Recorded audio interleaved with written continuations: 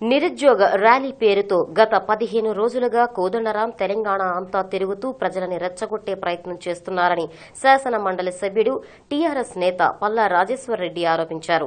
ఉద్యోగాల కల్పనకు సంబంధించి కోదండరాం రోజుకొక విధంగా మాట్లాడుతున్నారని ఆయన తప్పుబట్టారు.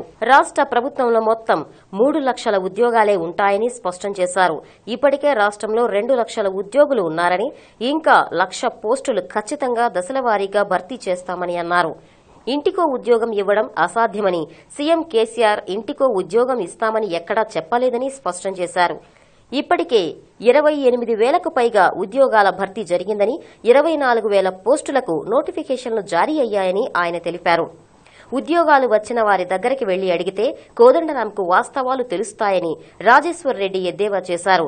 ఒకప్పుడు గుడుంబాకు అడ్డాగా ఉన్న దూల్పేట బస్తీ నుంచే రెండు వందల నలభై మంది ప్రభుత్వ ఉద్యోగాలకు ఎంపికయ్యారని కోదండరాం ఈ విషయాన్ని గమనించాలని సూచించారు.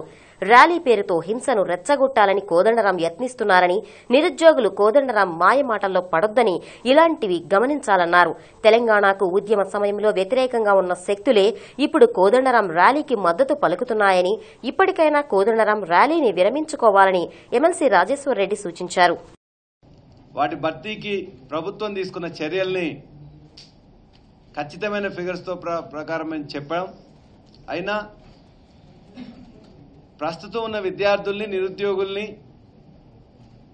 వాళ్ళందరినీ తప్పుదారి పట్టించే విధంగా మోసపూరితమైన ప్రకటనలు అనేది రెగ్యులర్గా చేస్తూ ఉన్నారు. పదిహేను రోజుల క్రితం వారు చేసిన ప్రకటన ఏంటంటే లక్ష ఉద్యోగాలు అన్నారు. యాభై యాభై వేలు కూడా ఇంకా చూడలేదు. పదహారు వేలకు నోటిఫికేషన్లు ఇచ్చాం. పదహారు వందలు కూడా ఫిలప్ చేయలేదని చెప్పారు. ఆ తెల్లవారే వివరాలు అందిస్తూ ఎన్ని పోస్టులు ఇచ్చినాం ఎన్ని నోటిఫికేషన్లు ఇచ్చినాం అని చెప్పి కూడా మేము క్లారిటీ ఇచ్చినాం. ఆ తర్వాత ఒక పదిహేను వేల ఉద్యోగాలు మాత్రమే ఇచ్చారని చెప్పి మరలా ఒకసారి చెప్పారు.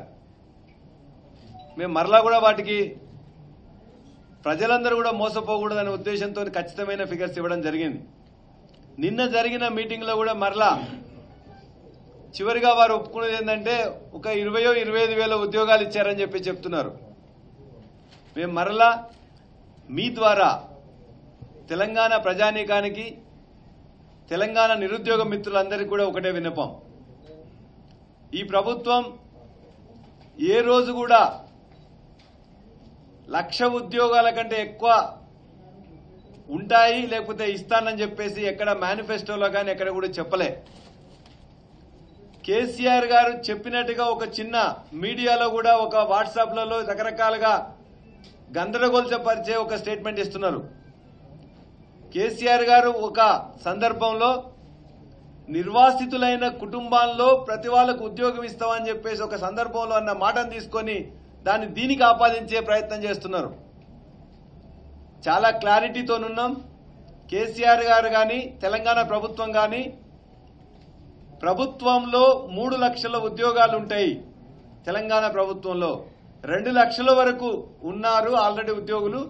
మిగతా లక్ష ఉద్యోగుల్ని ఖచ్చితంగా ఫిలప్ చేస్తామని చెప్పేసేది మేనిఫెస్టోలో చెప్పాం. ఆ తర్వాత జరిగిన అనేక కార్యక్రమాలు కూడా ఖచ్చితంగా చెప్పాం. అనేక సందర్భాల్లో ప్రతి అసెంబ్లీని వేదికగా చేసుకొని కూడా కేసీఆర్ గారు చెప్పారు. ఇంటింటికో ఉద్యోగం అనేది ఎట్టి పరిస్థితుల్లో సాధ్యం కాదు ప్రభుత్వ ఉద్యోగం. ఈ రోజున ఇంటికో ఉద్యోగం కావాలంటే ఒక్క తెలంగాణలోనే ఎనభై ఆరు లక్షల కుటుంబాలున్నాయి. ఎనభై ఆరు లక్షల ఉద్యోగాలు ఒక తెలంగాణలో ప్రభుత్వ రంగంలో ఇవ్వడం అనేది అసాధ్యం. మన సాధ్యమయ్యేది మూడు లక్షలు రెండు లక్షల ఉద్యోగులు ఆల్రెడీ ఉన్నారు. లక్ష ఉద్యోగాలు ఫిలప్ చేయడానికి కానీ నిర్ణయం తీసుకోవడం జరిగింది. ప్రాసెస్ కొనసాగుతుంది. ఈ రోజు వరకు ముప్పై నాలుగు నోటిఫికేషన్లు ఆంధ్రప్రదేశ్ పబ్లిక్ సర్వీస్ కమిషన్ ఇవ్వడం జరిగింది. TS sorry TS public APPSC మారిన తర్వాత టిఎస్ పబ్లిక్ సర్వీస్ కమిషన్ ద్వారా ముప్పై నాలుగు నోటిఫికేషన్లు ఇవ్వడం జరిగింది. ఒక నోటిఫికేషన్ కోడ్ ఆఫ్ కండక్ట్ వల్ల దాన్ని డిఫర్ కావడం జరిగింది. ముప్పై నాలుగు నోటిఫికేషన్లో ఇరవై నాలుగు నోటిఫికేషన్లకు సంబంధించిన ఐదు వేల తొమ్మిది వందల ముప్పై ఆరు పోస్టులని ఫిలప్ చేయడం వాళ్ళందరూ కూడా జాయిన్ కావడం జరిగింది. ఇది గవర్నమెంట్ డిపార్ట్మెంట్స్లో డైరెక్ట్గా రిక్రూట్ అయిన వాళ్ళు. ఇది కాకుండా government owned corporations Singareni corporation RTC corporation Genco Transco distributory corporations వీటన్నిటిలో కూడా కలిపి నేటి వరకు ఇరవై ఎనిమిది వేల ఆరు వందల ఇరవై ఏడు పోస్టులను ప్రభుత్వం ఫిలప్ చేసింది. ఇందులో భాగంగా పోలీస్ రిక్రూట్మెంట్ కూడా నిన్న మీరు చూశారు. పదకొండు వేల రెండు వందల ఎనభై ఒకటి పోస్టులకు భర్తీ ఫిలప్ ప్రక్రియ కంప్లీట్ అయిపోయి పదివేల నాలుగు వందల నలభై రెండు మందికి ఆల్రెడీ ఆర్డర్స్ ఇవ్వడం జరిగింది. ఇవాళ ఖచ్చితంగా కోదండరామ్ గారికి మేము ఒకటే విజ్ఞప్తి చేస్తున్నాం. మీరు వరంగల్ పోయినా ఖమ్మం పోయినా సిద్దిపేట పోయినా అక్కడ ఉన్న ఒక ఏఈఓని అగ్రికల్చర్ ఎలక్షన్షన్ ఆఫీసర్ని పిలిచి అడగండి. ఎప్పుడు రిక్రూట్ అయ్యారో చెప్తారు. ఒక అసిస్టెంట్ ఇంజనీర్ ఆఫీసర్ని అడిగి పిలవండి. మిషన్ కాకతీయలో పనిచేస్తున్న ఇంజనీర్ని అడగండి. మిషన్ భగీరథలో పనిచేస్తున్న స్టాఫ్ని అడగండి. వాళ్ళు ఎప్పుడు రిక్రూట్ అయ్యారంటే ఇలా చెప్తారు. కాబట్టి ఇలా గ్రామీణ ప్రాంతంలో వచ్చిన కొత్త అనేక పోస్టులను వారు గుర్తించకుండా పదే పదే అబద్దాలు చేయడం కరెక్ట్ కాదు. ఇవాళ ఈ ప్రభుత్వానికి అవసరమైన అర్జెంటుగా అవసరం ఉన్న ఇరవై ఎనిమిది వేల ఆరు వందల ఇరవై ఏడు పోస్టులు ఇరవై నాలుగు నోటిఫికేషన్లకు సంబంధించి ఇవాళ కంప్లీట్ అయినవి వాళ్ళందరూ కూడా చేరడం జరిగింది.